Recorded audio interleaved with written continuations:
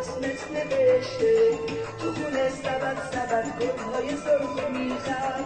عزیزم دوست دارم تولدت مبارک